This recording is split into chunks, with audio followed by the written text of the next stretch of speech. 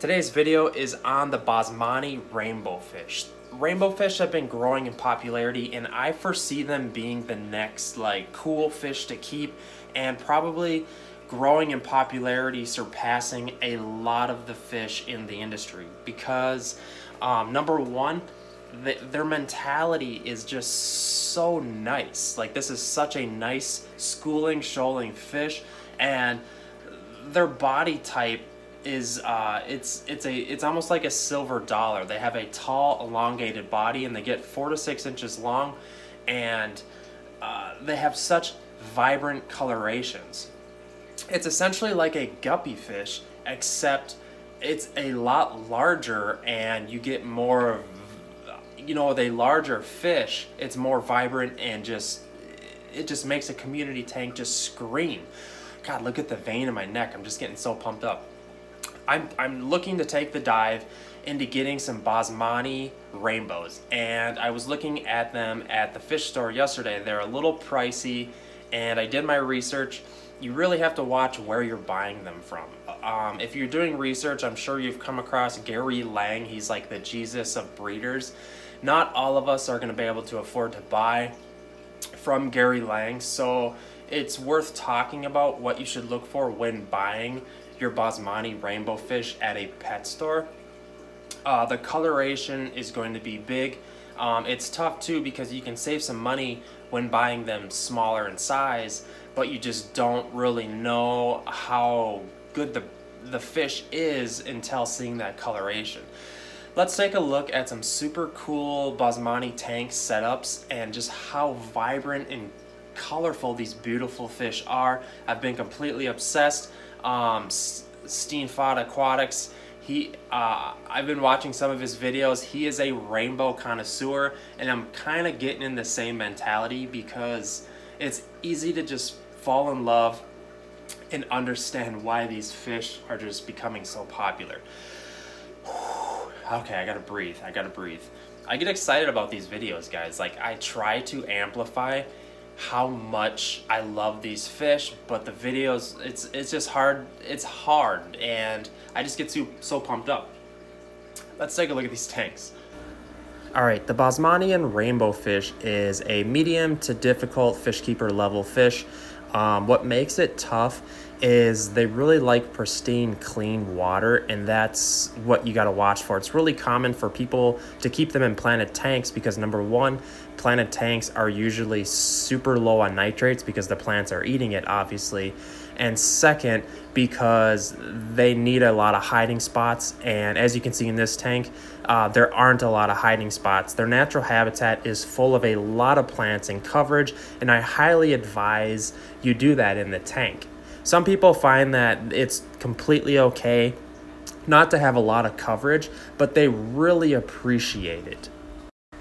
But other than that, that's really the only thing that makes them a little more difficult. And if you don't have live plants, what you maybe want to do is just over filtrate the water or maybe do more water changes than usual. That's really the only thing that makes them any different because as far as accepting water parameters, they are very hardy and adaptable as far as that but uh, the nitrate levels is what you need to watch mainly. As far as feeding them, they are super easy. Um, they are omnivores, and they you're gonna need both sides. You're gonna need some protein with some brine shrimp, brine shrimp, bloodworms, etc., and maybe supplement in some flakes. Generic uh, tropical flakes will do fine.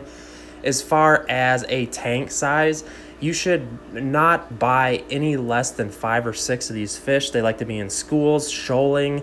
Um, they're they're super vibrant fish, as you can see, and it would be a complete waste not to get a bunch of them. I always tell people to buy 10 of them. Don't hold back and buy three of them. Just buy 10 of them. Yes, they are kind of expensive, but it's an extremely cool investment, especially when you have a community tank like this. They're commonly kept with other general tropical community fish. Uh, try to stick away from cichlids because these are super well mannered, nice fish like tetras, platies, live bears, tiger barbs, uh, any kind of barbs, other rainbows. You really don't have to watch the aggression with other rainbows. Um, the males are going to be a lot more, they're going to have the more vibrant coloration. And like I said, uh, if you're try to look for a healthy fish. You can kind of tell just by the finnage if it's structured out nicely. And um, a trick that I learned um, from the Real Fish Talk podcast is to, like, if you're trying to test, uh, try to replicate the water at your fish store. And a trick to do this, Joel Christensen was talking about it on the podcast.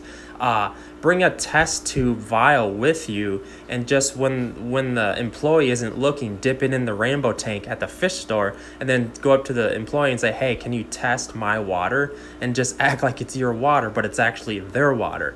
And you can bring that home and just try to replicate it in your tank. Chances are because you're close to the fish store within a mile radius or so a couple miles or so uh, that your water is going to be um, super similar I thought that was a super cool trick. I want to get a shout out to Joel Christensen. That's a uh, you have some awesome videos. I love your guys' podcast. I love what you're doing.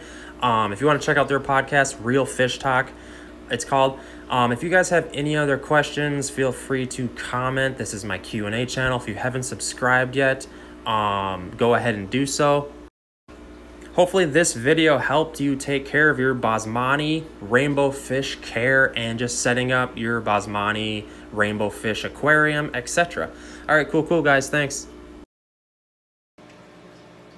Oh, and by the way, one more thing. I want to give a shout out to all the locals. I'm asking for a favor. I know a bunch of you get local guys follow my channel. If you guys find good deals on aquariums, uh, somewhat local to me, uh, just give me a Facebook message, a shout out, because as you guys know, I'm starting up the store and I need as many tanks as possible, preferably like 20 gallon talls or 40 breeders, but I'm just looking to hoard as many as possible because I'm going to be drilling them all and setting them up in the racking system, um, etc. A lot of you local guys are a ton of help, so you are awesome. And shout out to my local fish store, Fins and Friends, love you guys. I don't even know what I'm talking about anymore. Um, let's take a look at these electric blue Dempseys.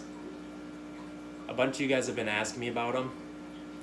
They're doing great, still super timid fish, but doing great. I have them with a blood parrot and also a small little tiny jag cichlid. So um, everything's going good here in the fish room. Um, for you locals, I'll also probably have some rainbow cichlid fry soon not rain, not regular rainbows, but rainbow cichlids. I know it's a little different of a topic, but um, there's some Boesemani rainbow fish at the fish store right now. They're like 12 bucks a piece, I think. I might be able to talk them down a little. Uh, I don't know, should I make the dive? Should I not? Should I, should I, should I? I need to set up a planted tank and just go balls deep with plants and do it. All right, guys.